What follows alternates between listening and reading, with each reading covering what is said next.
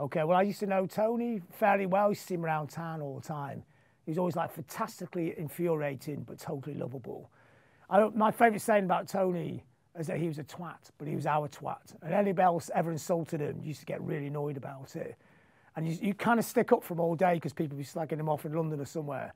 Then you bump into him in the street and end up having a two-hour argument about about some utterly musical minutiae or something. It was, totally ridiculous. But I think we're all kind of similar people. We're, I think we were all twats, really. So it's like a collision of twats in the streets of Manchester, which is how it should be with music, because there's nothing worse than nowadays when everything's consensus, really boring. The, the greatest thing about Tony was, even if he was completely wrong, which he was on some things, he was totally certain, 100% certain, and that certainty has died out in music. His enthusiasm was amazing, and he had, he had a heart of gold, which is, the, which what, the one thing he would never want anyone to know about him at all. Because he liked that idea that people found him really abrasive and really in your face. But we all knew that he was actually like a, a totally lovable kind of person as well. His energy was, was insane, and he also put people together, which was great about him as well. He joined people up, which is really important. And in, a, in, a, city where people, on a creative people would be all separate and disparate communities, he brought that together, and that, that was a really key thing his enthusiasm powered Factory, powered the Hacienda, powered the whole music scene at that, that time as well. So even right at the very end, the last time I seen him, he was walking through Castlefield with a walking stick. And it's, it's about four weeks before he died. And I bumped into him. And you, you, you felt really tempted to go, how are you? How's it going? Put an arm around him. But you knew that would be the last thing he wanted. He didn't want any sympathy at all because he was, because he was, he was like the rest of us, proper northerner. We're not soft like that. And um, so, so I tried really hard not to have an argument with him, but we ended up having an argument about the casino in Blackpool. And I said it should be in Blackpool. And we had this argument for about 20 minutes. And then he said, wait a minute, we're agreeing with each other because he said it should have been in Blackpool as well because he really liked Blackpool.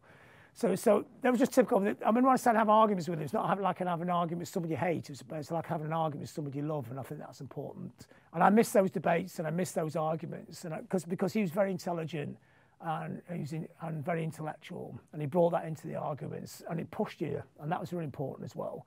I think all the greatest managers and all the greatest musical figures are people who push people to the brink. You see that in all the classic punk rock managers. They weren't just people like nowadays who just do the accounts and hand them in or something, or, or just, you know, just just speak to the right people. These are people actually confronted, confrontational people, dangerous people. He's like that through his whole career, and that's what we all really liked about him that sense of frisson, that sense of danger, that's, that sense of pretentiousness that he had as well, which is really fantastic. It made music into, into an intellectual debate, whereas now it's just been boiled down to I hate this, I hate that. I was thinking about this with Twitter. I think Twitter would have been impossible for someone like Tony. There's only 140 characters, but he would have just been on there all day causing arguments with people endlessly. And that's what I like, and that's what I really liked about him. And since the day he died, I've missed him every single day going around town. It's just, it's weird because it was just like this figure had been around all my life since I was a teenager watching him on TV. And then and you kind of got used to him being there, and suddenly he wasn't there anymore. And I think the city kind of misses him as well. And I think to build statues to him is pointless, but, but we have to keep the memory alive in different kind of ways, you know.